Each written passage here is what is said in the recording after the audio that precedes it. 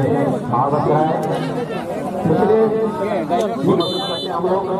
माधुरी के द्वारा खान लेकिन देखा शाबाश